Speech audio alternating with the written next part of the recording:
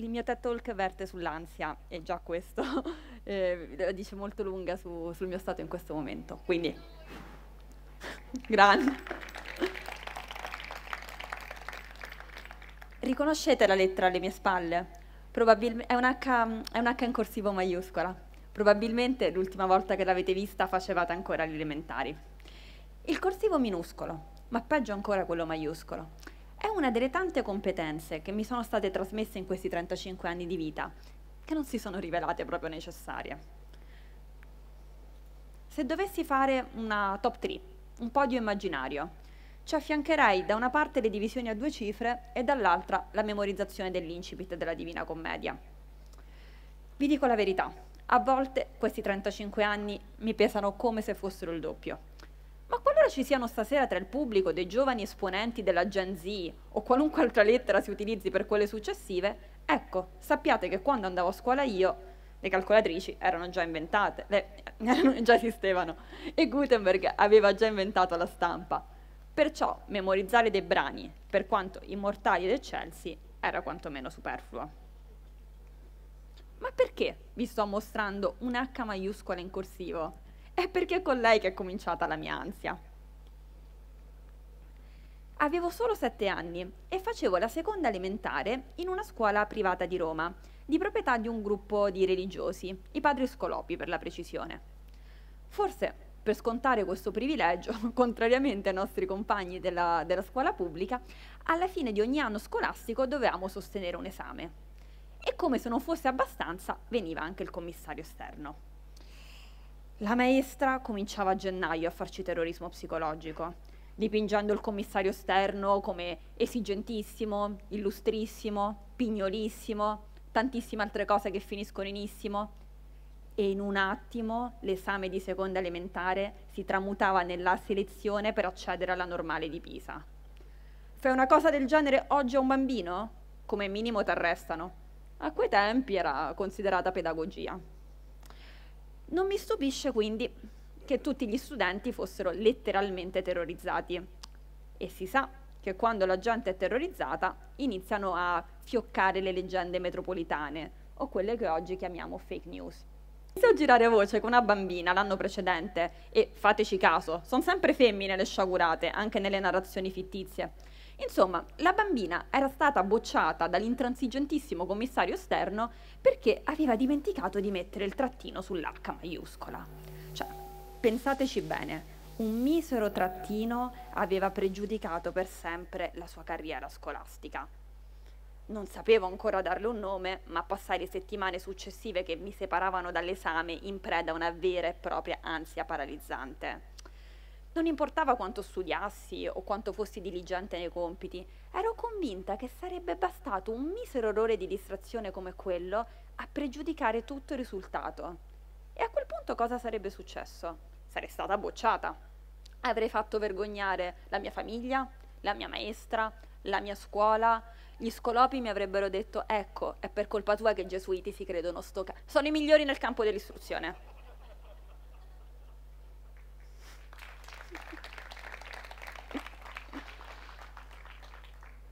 Quello che non sapevo quando avevo sette anni è che non si può controllare l'incontrollabile, non si può prevedere l'imprevedibile. E non è neanche sempre vera quella legge di Murphy per cui se qualcosa può andare storto allora lo farà senz'altro. Ma io, come una specie di Cassandra, ho applicato questo principio di catastrofismo al grosso della mia esistenza, provando a rispondere all'ansia con il controllo. E più provavo a esercitare il controllo e più inevitabilmente, come state notando stasera peraltro, fallivo, ecco, si confermava la mia idea, la mia logica disfunzionale per cui avevo avuto ragione a sottovalutarmi. Non contenta poi, mi ostinavo a paragonare la mia vita con quelle degli altri, che mi apparivano perfette, senza problemi di sorta. Oh, mentre io a sette anni già facevo i conti con la bruciante sensazione del fallimento fallimento che non era ancora avvenuto, ma era solo questione di tempo. Adesso voi vorrete sapere com'è andato il mio esame di seconda elementare o forse vi volete far rimborsare il biglietto, cosa che francamente non mi stupirebbe. Ecco, è andato bene. Sono stata promossa. Oh, certo, tutte le volte che delineavo l'H maiuscola avevo un maccamento, ma il trattino quello ce lo mettevo sempre. Negli anni mi sono erroneamente convinta fosse andato bene proprio per quello, perché non avevo dimenticato il trattino o il controllo aveva funzionato. Questa esperienza mi ha indubbiamente temprata. E no, non nel senso che mi ha trasformato nella persona ipermeticolosa che mi piace descrivere colloqui quando cerco di farmi assumere. Dovreste vedermi. Gli occhi degli intervistatori che si illuminano quando dico loro un mio difetto? Sono troppo precisa. Dall'altra parte mi ha reso una persona fondamentalmente molto insicura. Ecco, io ero talmente insicura che non pensavo di avere banalmente la sindrome dell'impostore, come adesso dicono molti. Io pensavo di essere l'unica vera impostrice. Cioè, anche perché, parliamoci chiaro, ma statisticamente esisteranno più impostori o persone con la sindrome dell'impostore? No, ci siamo capiti.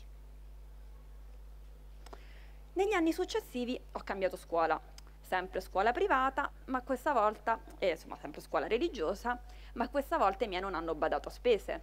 Erano i best in class, i gesuiti.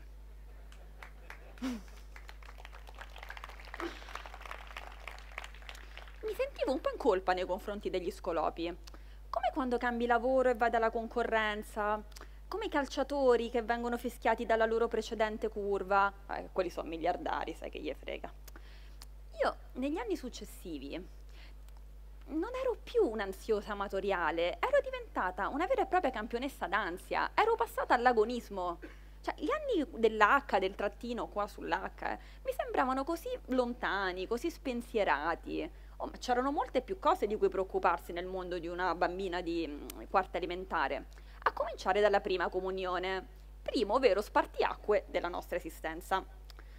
Allora, la comunione si svolgeva a scuola perché, come vedete dalla foto, c'era nel complesso una chiesa anche di discrete dimensioni. La maestra e tutti i gesuiti ci avevano messo tanta di quell'ansia sull'organizzazione di questa benedetta comunione che quando mi sono sposata, in confronto, è stata una passeggiata di salute. Mi ricordo che la gente mi diceva, oh ma Gaia ti sposi tra due settimane, eh, a parte auguri, eh, ma stai agitata, eh. E dicevo loro, ma va. Oh, ma io ho fatto la comunione. Da quel momento e poi, tutta discesa. La comunione, mo ve ne parlo. C'era innanzitutto lo scoglio della prima confessione, che sembrava solo all'apparenza facile. Non bisognava fare altro che dipingersi come una persona orribile, e in quello, perdonatemi se mi vanto, ero già bravissima. Preparai un elenco di peccatucci irrisori che all'epoca mi sembravano imperdonabili. Risposto male a mio padre. Mi sono accapigliata con mia sorella. Non avevo voglia di fare i compiti. Oh, poi però li ho fatti lo stesso. Ma non avevo voglia. La parte che mi preoccupava di più era dover recitare ad alta voce l'atto di dolore davanti al padre confessore dimostrandogli di averlo correttamente imparato a memoria. E badate bene che non era mica un prete qualunque, era il preside della scuola, che per l'occasione assumeva il ruolo di nostro primo confessore. Ecco, ricordo che quel giorno ero talmente agitata perché avevo paura di dimenticare parti della preghiera o sbagliare le parole, che l'atto di dolore io l'ho recitato come col due per su WhatsApp. Mio Dio, mi pento, mi dolgo con tutto il cuore i miei peccati perché peccando ho meritato due così, molto più perché ho offeso te. Passato lo scoglio della confessione, il resto della comunione era un incubo a livello di logistica e di rigorose istruzioni ricevute. La maestra ci aveva tenuto a dirci che doveva essere un evento dei più solenni. Dovevamo attraversare la navata in silenzio, rigorosamente in ordine d'altezza e io ero anche la prima. Dovevamo essere serissimi, ma anche gioiosi, perché la comunione è una festa, ma contriti non guardare in faccia nessuno, non salutare i nostri genitori, non scambiare 14 gesti di pace. Oh, alla fine, se non fosse stato per l'alleluia, alleluia, saremmo sembrati tutti degli animali impagliati. C'era poi un fattore esterno che mi preoccupava particolarmente. Potevo garantire per me stessa, non potevo garantire pure per i miei parenti. E se mio zio ha detto al filmino dal momento del mio ingresso avessi iniziato ad agitare le mani urlando «Ah bella de zio!» cosa che peraltro mia madre aveva pure paventato. Come ne sarei uscita? A quali altri ordini sacerdotali avrei potuto affidare la mia istruzione? Come al solito, mi stavo ponendo un problema inutile. Non solo mio zio quel giorno si è comportato come Carlo d'Inghilterra, ma io ne ho tratta un'altra lezione. Possiamo controllare a malapena noi stessi, figuriamoci gli altri. Non sto qui a raccontarvi tutti i momenti in cui ho fatto i conti con l'imprevedibilità, non basterebbe il tempo a mia disposizione. E soprattutto sono meno divertenti. Più si va avanti negli anni, più i miei tentativi di esercitare il controllo assumono delle sfumature più tristi, più cupe. Ho controllato il cibo, ho controllato il peso, non mi sono voluta bene. E questo ha avuto un impatto nelle mie scelte, nelle mie relazioni, nei miei ninosarratori, plurale, ma una cosa posso e devo dirvela, come ne sono uscita? Come ho imparato a fare i conti con il fatto che ci sono sempre cose, ci saranno sempre cose che sfuggiranno al nostro controllo e non possiamo fare altro che prendere il meglio da quello che abbiamo, correndo dei rischi e sapendo che qualunque esito negativo possa verificarsi, non impatterà mai il nostro valore come persone. Io credo tantissimo nell'importanza della psicoterapia e credo che stia facendo la differenza per le persone della mia generazione. E nonostante non sia più considerato un tabù da tempo, siamo spesso noi i primi che non vogliono ricorrerci, perché ci recriminiamo di non essere abbastanza forti. Ecco, nel mio caso non sarebbe bastato essere forte, così come non è bastato incasellare qualche discreto successo qua e là. Io potrei diventare presidentessa dell'ONU domani, e ovviamente è un'iperbole, cioè, l'ONU non è che è messa così male, cioè, manco benissimo ultimamente, però insomma, non basterebbe a dimostrarmi che valgo qualcosa come persona, esattamente come non sono bastate le parole d'affetto e di stima di chi mi circondava nel corso degli anni. Avevo bisogno di fare un percorso, non semplice, non immediato, con una figura professionale che mi aiutasse a cambiare l'idea che avevo di me stessa.